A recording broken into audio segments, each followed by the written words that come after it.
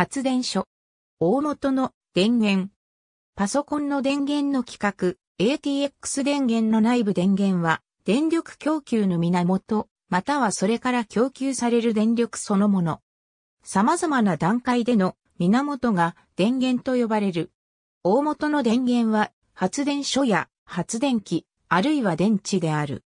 商用の電力網に電力を供給する発電所、また、それから供給される電力は商用電源と呼ばれる。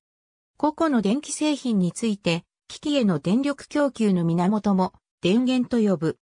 機器にとっては、電灯線から供給される100から200ボルト程度の交流電力が電源となる。俗に家庭用電源と呼ばれる。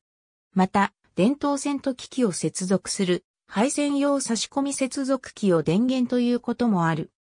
ごく単純な機器を除けば、電気製品はソケットから供給される電力をそのままは使わず、電源回路で機器に適した形態の電力に変換する。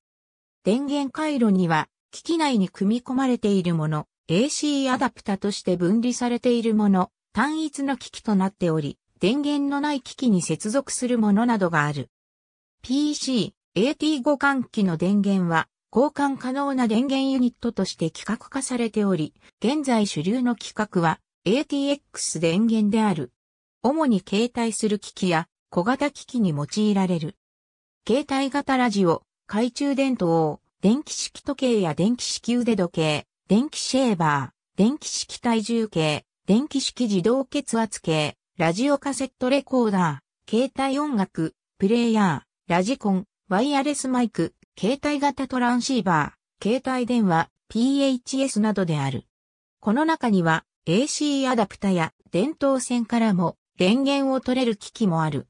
電源スイッチは電力炉を機器の最上流で ON、オフする。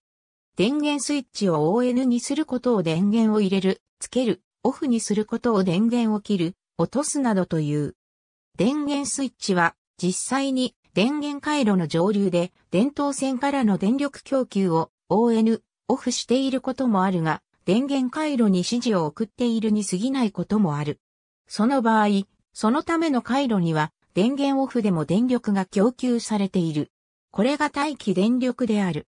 電源ボタンに描かれているとを使ったマークは、通電のオンとオフを組み合わせて図式化したと言われている。交流の電源を交流電源、直流の電源を直流電源と呼ぶ。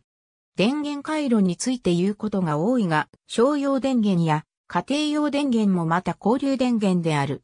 と、知ってる？アプリや電気のスイッチと電源ボタンの記号の意味。ありがとうございます。